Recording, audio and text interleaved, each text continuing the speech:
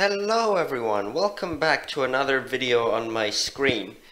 It's been a while since I've done one of these, but today, look at this. Lakeland Station goes live on Sunday, 11 June. Yes, we are getting closer and closer to the date now. We're just over a fortnight away. It is the 26th today and when I'm recording this, so very soon. And all the changes and bus route changes have been released on the website now a few days ago, including the timetables, and actually no, it was just yesterday. Yesterday, yeah, all the timetables were released, but the maps were released ages ago, which I did put up on a community post. So today we're going to do a quick 15 or 20 minute video, and we're going to go over all the changes and see um, just everything that's happening, and I'll tell you my thoughts about it. And then I'll go and film it in real life in a few days time but yeah, let's just take a look through here and read through this. So obviously on Sunday 11 June, Lakeland Station will be opening. Very exciting. Just like, you know, what was it, seven, eight, eight months ago, airport line opened, and now another opening. Or was it nine? Sorry, I'm being stupid at maths. Eight.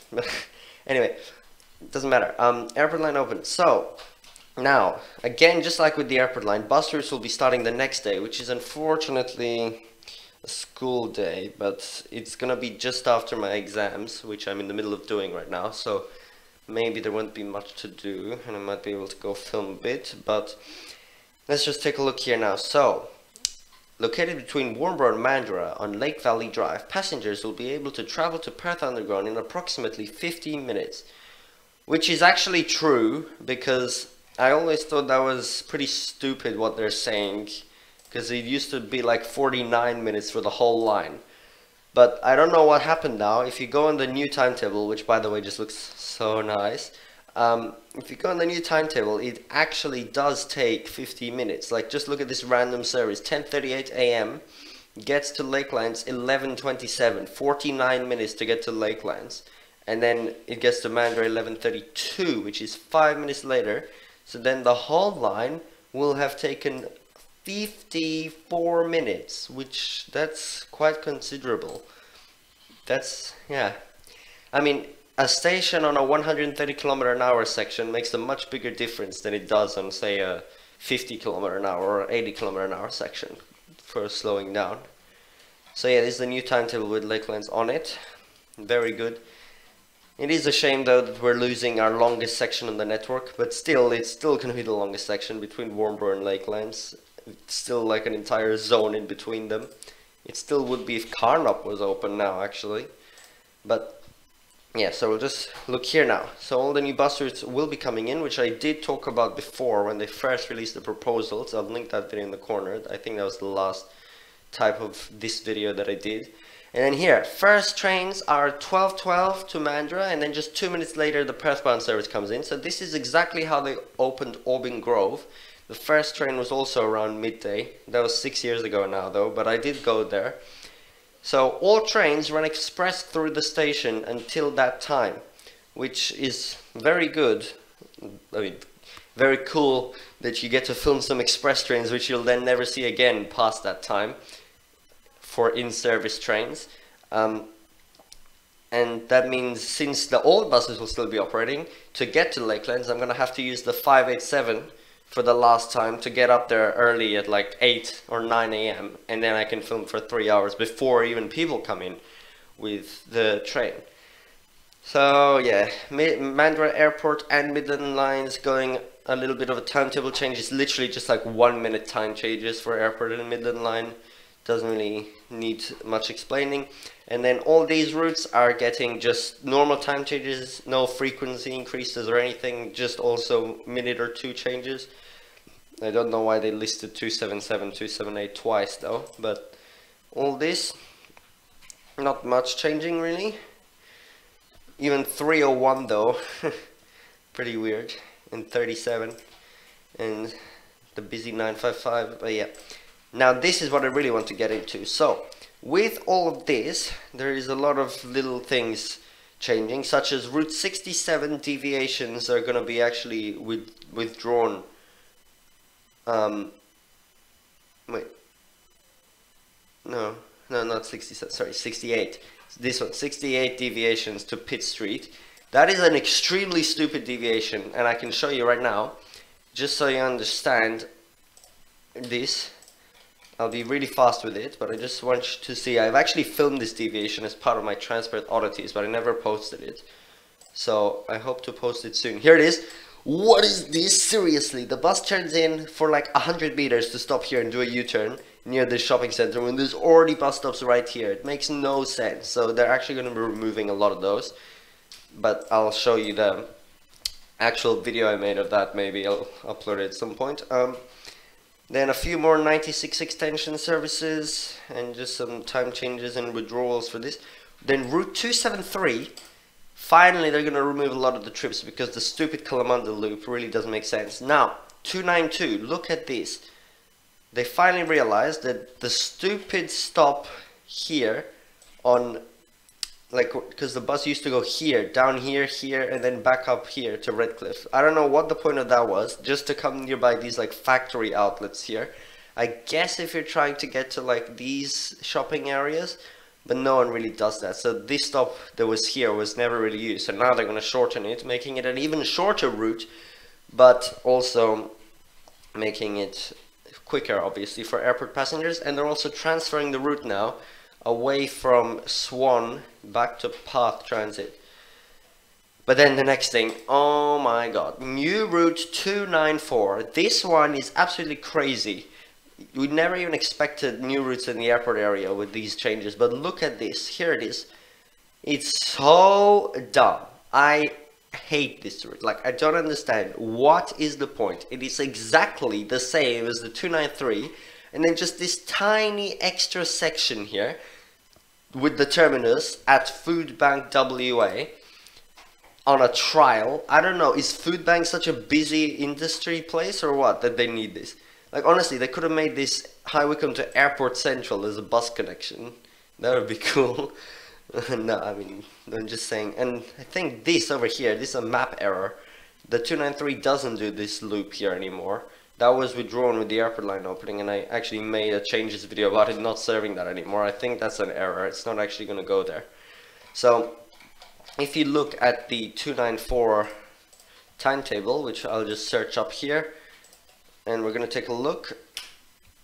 Mm.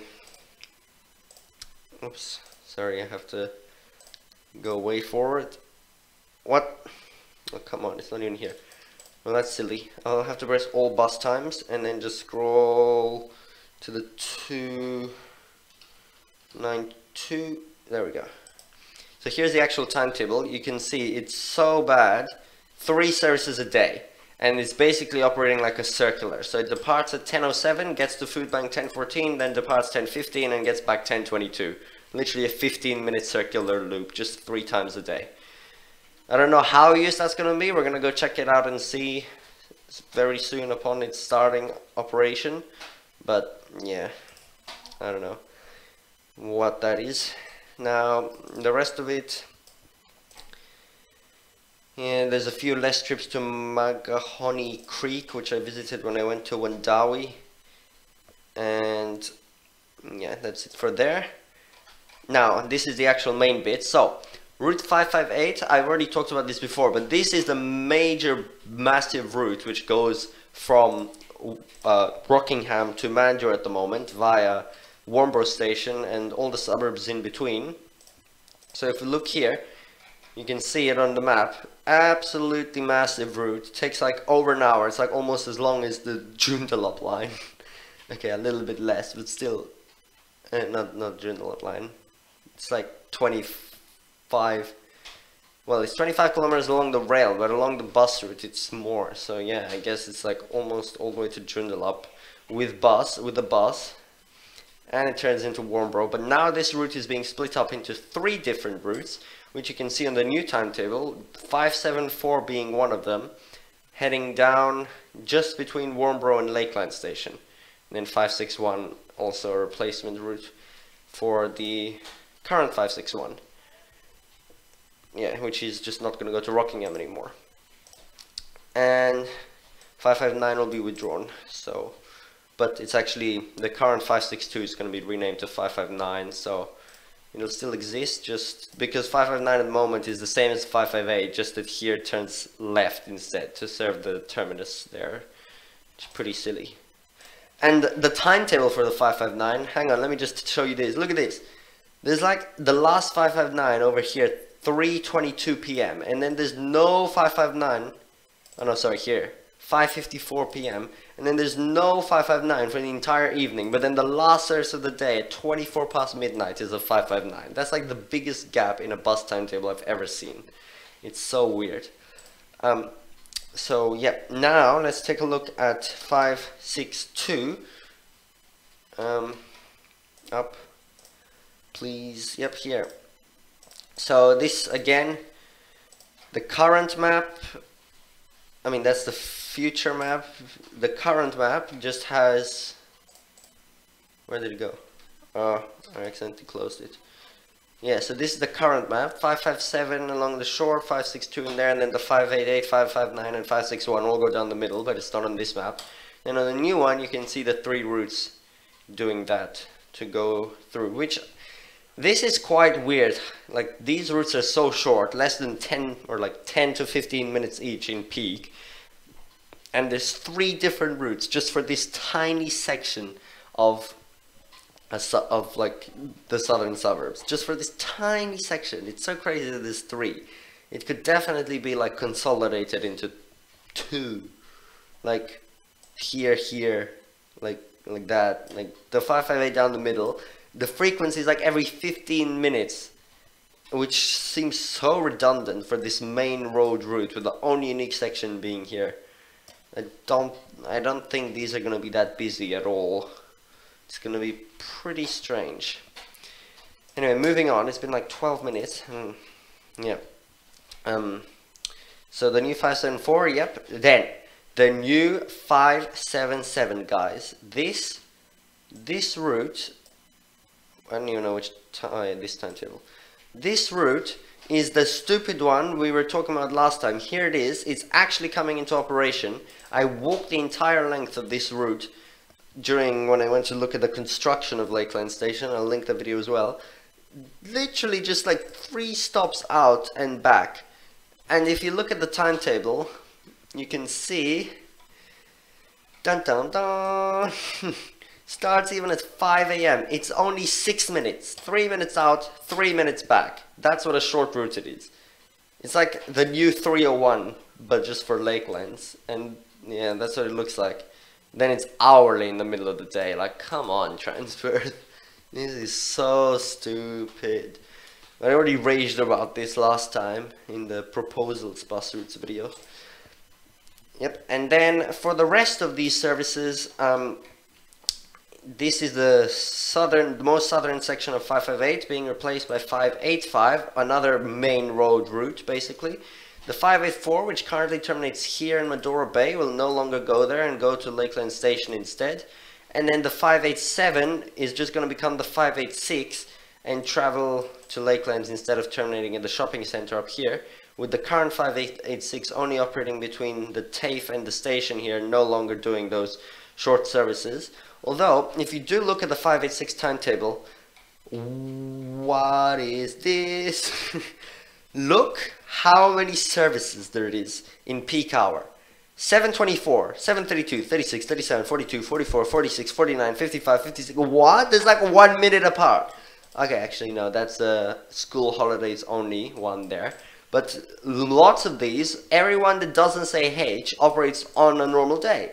So 32, 37, 42, 44, all of these, 49, 55, 58. There's like a series every five minutes. Five minutes and all of them do deviations to schools and stuff which means it takes up like half of the weekday timetable just for the between 7 and 8 a.m schedule here.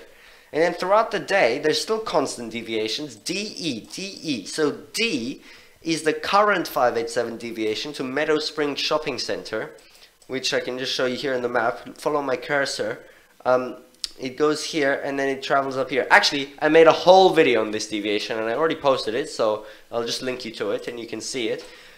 so the, it'll alternate between that and the new E deviation, which will also run almost every service on the weekend with no more D on the weekend, which is so strange. You can't go to Meadow Spring Shopping Center on the weekend anymore with the 586 or 587 that it currently is. But that's probably because the 585 and 584 are having their frequencies increased and they go right there anyway, so there's no point. But the deviations will still be in place on weekdays. But the new main deviation is the E, which, let me show you, it's a very, very strange thing. Um, so, you know how, like, Lakeland Station is quite, I mean, quite, like a kilometer away from Lakeland Shopping Center. There was a bit of criticism about that, but then Transport's like, oh yeah, don't worry, we're gonna have three of the bus routes going there.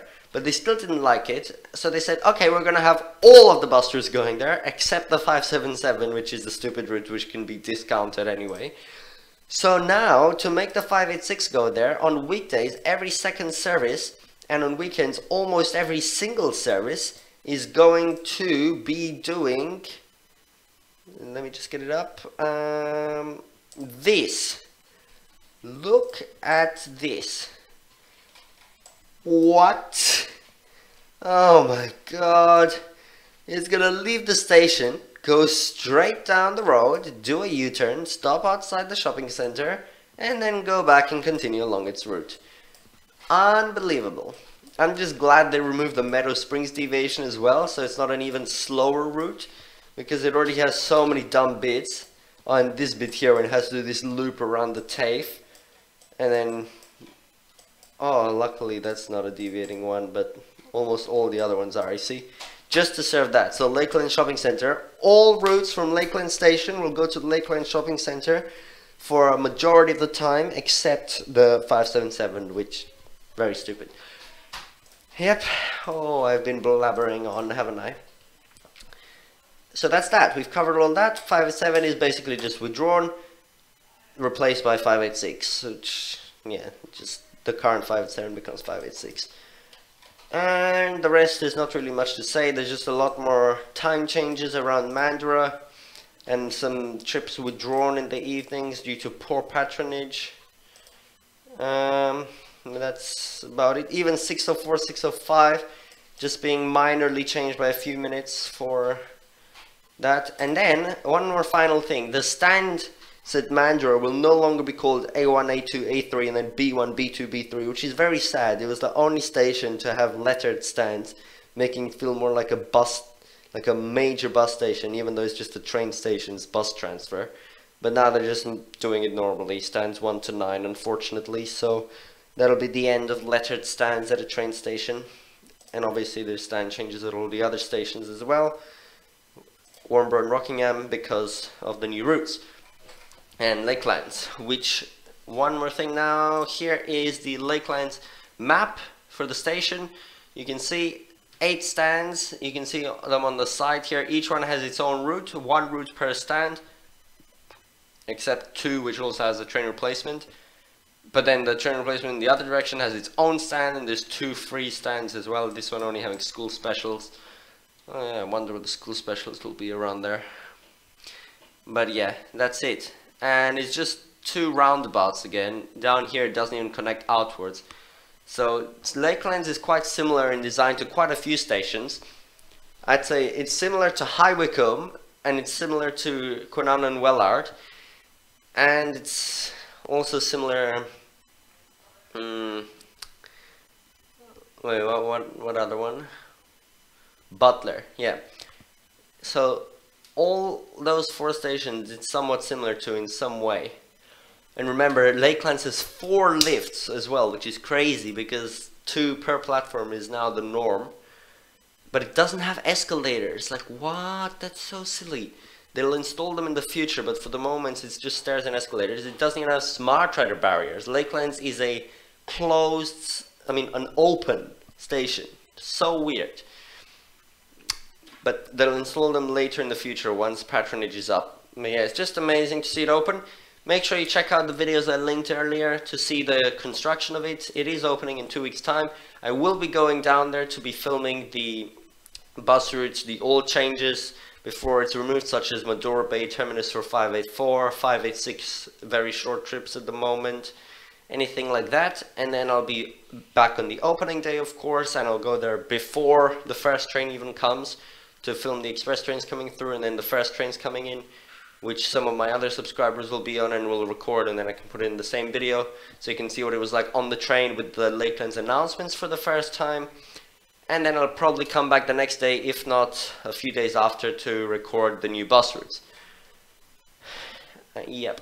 That's everything now. 20 minutes. Perfect. That's probably enough. Um, so yes this is the new timetable. Two weeks time guys. It's coming very exciting. So exciting. Right after my exams perfect timing. Yep and now this weekend actually we have Midland Airport free um, Armadale Thornlie line closures as well as airport and Fremantle lines departing from Perth Underground. But basically like the Heritage line shut down, I already filmed like last year. So uh, yeah, anyway, that's not what this video is about. Oh, final thing to say before the video ends. Free travel. Free travel is going to be happening on the 4th of June, which is the first Sunday of the month with the new scheme that they introduced. The 5th of June, which is because it's a public holiday, for the WA Day Festival, they want two free days to encourage people to use transport. So that's two. And then on Lakeland's opening day, it's also free. So that's three. Three free days in the first two weeks of June. Wow. Free travel. I think on Lakeland's day, it's completely free for everyone. You don't even need your smart rider like it was during the airport line opening. But on the other two, you actually need your smart rider for it to be free. Yeah and that is it now thank you for watching the video that is all the new bus routes that I've talked about now I've shown you the timetables and the maps Justin also made a very similar video to this saying all the same stuff but on a PowerPoint instead before the times are released. You can also check this one, that one out. This one just went into a bit more detail about the actual operations on opening day and the timetable as well. So yeah.